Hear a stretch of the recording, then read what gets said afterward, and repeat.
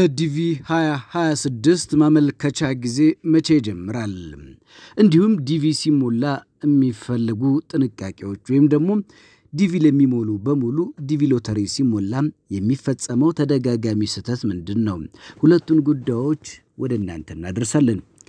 ዲቪ የሞላችሁ ምናልባት ሞልታችሁ አሜሪካን ሀገር የደረሳችሁ ሰዎች ወይም ደግሞ አሜሪካን ሀገር ሄዳችሁ የኖራችሁ ያላችሁ ሰዎች ይመቻችሁ። እዚህ ያላችሁ ግን ዲቪ መሙላትና የኢትዮጵያን ኑሮ ወደ አሜሪካ መቀየር የምትፈልጉ ሰዎች የዲቪ 2026 ማመልከቻ መቼ ይጀምራል ለሚለው ጥያቄ አሜሪካ ከ1995 ጀምሮ በየዓመቱ 55 ሺህ ሰዎችን ወደ ሀገሯ በመውሰድ ላይ ናት። የዲቪ 2026 ማመልከቻ ጊዜ እና መቼ ይጀምራል? ይሄ ብዙዎች ጥያቄና ብዙዎች በጉጉት የሚጠብቁት ጉዳይ ነው። ዲቪ ሲባል መቼም ማንም ሀገሩን ነቅሎ መሄድ የሚጠላ ያለ አይመስልም። ምናልባት ሀገር ቤት ካለው ሁኔታ ምናልባት ደግሞ ከኑሮ የተሻለ ኑሮ ፍለጋ ሀገሩን የሚጠላ ለማለት ሳይሆን ካለው ምቹ ያልሆነ ያልተመቻቸ ሁኔታም ሊሆን ይችላል። ያልተመቻቸ ሲባል በፖለቲካ፣ በኢኮኖሚያዊ፣ በማህበራዊ በበርካታ ችግሮች ምክንያት በስራ እድል፣ በተለያየ መንገዶች ለትምህርት፣ ለበርካታ ጉዳይ ዲቪ ይመረጣል። ኢትዮጵያ ለዚህ እድል ከተፈቀደላቸው ሀገራት መካከል አንዷ ስትሆን በየዓመቱ በአማካኝ ከአራት ሺህ እስከ አምስት ሺህ ኢትዮጵያውያን ወደ አሜሪካ ማቄን ጨርቄን ሳይሉ ያቀናሉ። እናት አሜሪካም እጇን ዘርግታ ትቀበላቸዋለች፣ ግንባሯን ስማ። ይህ ሁሉ የተማረ ኃይልና ይህ ሁሉ እውቀት የተሸከመ ኃይል ወደ አሜሪካ ይሄዳል። ምናልባትም ኢትዮጵያ ለዚህ ሁሉ የተማረ ኃይል የመክፈል አቅም የላት ይሆናል። የዲቪ 2024 እድለኞች ደግሞ ከዚህ ቀደም ኢትዮጵያ የቪዛ ማመልከቻቸው ከጥቂት ቀናት በኋላ የሚያበቃ እንደሆነ ተገልጾ ነበረ። ይህ በእንዲህ እንዳለ የዲቪ 2026 የማመልከቻ ጊዜ ከአንድ ሳምንት በኋላ የሚጀመር ይሆናል። ለአንድ ወር የሚቆየው የአሜሪካ State Department ያስታወቀው ይኸው የዲቪ 2026 በሚገርም ሁኔታ ከአንድ ሳምንት በኋላ በድጋሚ ይጀምራል። እንግዲህ ወደ አሜሪካ የሚሄዱና የሚፈልሱ ወገኖቻችን ዳግም ይበዛሉ። ያብዛቸው። ሰርተው ከላኩ ለሀገራችን የሚጠቅም ነገር ይኖረዋል። የዲቪ 2025 አሸናፊዎች ደግሞ በዚህ አጋጣሚ ይፋ ሆኗል።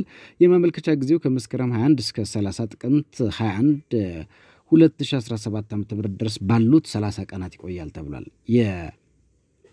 እንግዲህ በዚህኛው ማለት ነው የ2026 የዲቪ 2026 የማመልከቻ ጊዜ ከመስከረም 21 ቀን እስከ ጥቅምት 21 ለአንድ ወር ይቆያል። በእነዚህ 30 ቀናት ውስጥ ደግሞ ሞላ ሞላ አድርገው እንግዲህ ወደማይቀረው አሜሪካ መሄድ ነው። ለእነዚህ ቀናት የሚቆየው ዲቪ ሎተሪ እንግዲህ በርካቶችን እድለኞች ያደርጋል ተብሎ ይታሰባል። ግንቦት ወር ላይ ጀምሮ ይህንን ማሳወቅ እንደሚቻልም በተለይ አሸናፊዎች እድለኞች ደግሞ ግንቦት ወር ላይ ማሳወቅ ይጀመራል። ይህም የተገለጸው የዲቪ 2025 አመልካቾች አሸናፊ እድለኞች ባለፈው ግንቦት ወር ላይ ይፋ የተደረገ ሲሆን አፍሪካ፣ እስያ፣ አውሮፓ፣ ሰሜን አሜሪካ፣ ደቡብ አሜሪካ እናም አውስትራሊያ የዚህ እድል ተጠቃሚዎች ናቸው።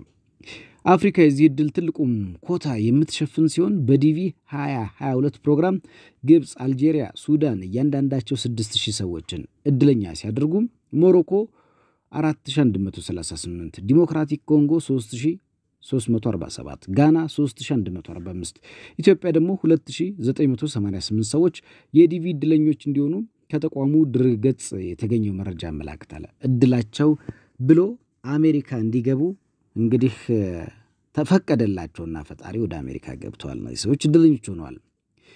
ዲቪ ለሚሞሉ በሙሉ አሁን በቀጣይ ሳምንት ይጀመራል።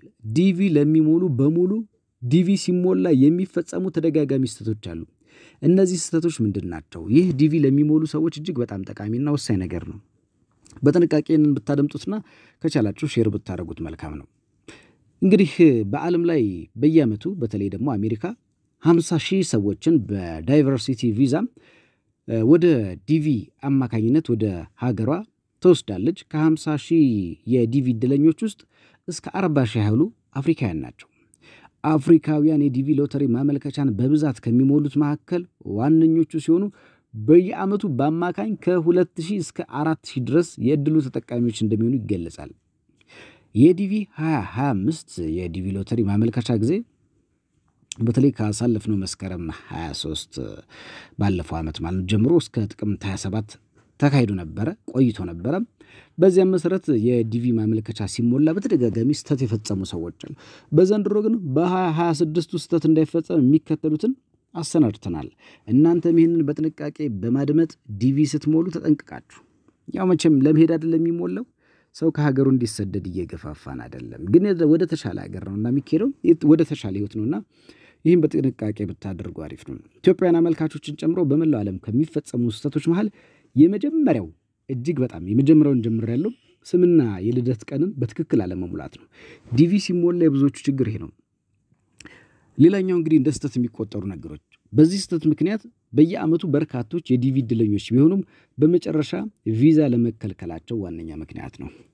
ሁለተኛው ተደጋጋሚ የሚፈጸመው ስህተት የዲቪ ማመልከቻን ከአንድ ጊዜ በላይ መሙላት ሲሆን ማመልከቻዎችን ከአንድ ጊዜ በላይ ከሞሉ ማመልከቻው ውድቅ ይደረጋል። መቼም እንደኔ ጓጓው ሁለት ሶስት ይሞላል። አሜሪካ መሄድ ተገኝቶ ነው።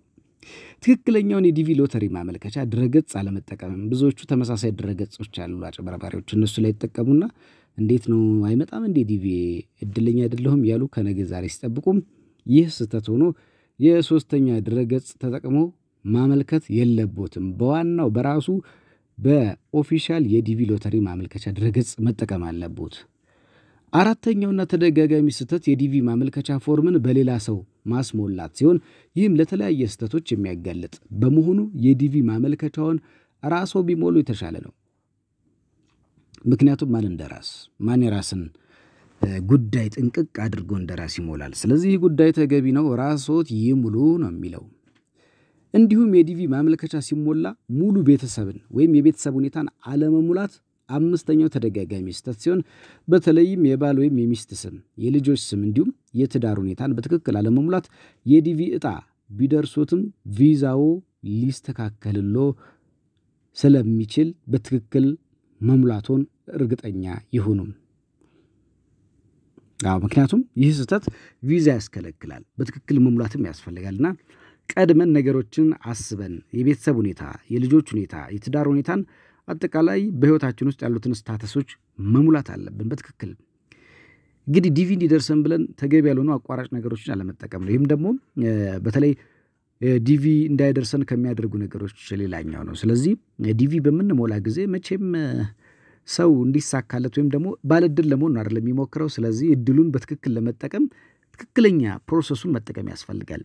ይህ ደግሞ እድለኞቹ አብዛኞቹ የተሳካላቸው ሰዎች በትክክል ይህን ከመሙላት ትክክለኛውን ድረገጽ መጠቀም፣ የልደት ቀንን በአግባቡ መሙላት፣ ፎርሙን በትክክል ራስ መሙላት፣ በሌላ ሰው አለማስሞላት፣ ሌላው ደግሞ ትክክለኛውን ድረገጽ መጠቀም፣ እነዚህ ወሳኝ የሚባሉ ነገሮች ናቸውና እንዲሁም የዲቪ ማመልከቻ ሲሞሉ የቤተሰብ ሁኔታን በሚገባ መሙላት። ሌላኛው በአመልካች የሚፈጸም